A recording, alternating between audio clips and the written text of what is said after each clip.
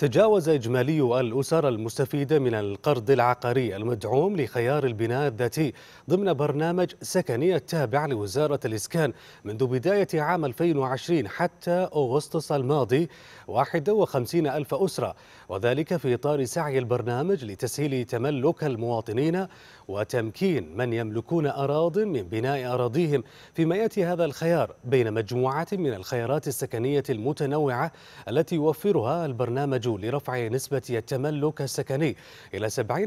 بحلول عام 2030 بحسب مستهدفات برنامج الإسكان أحد برامج رؤية المملكة 2030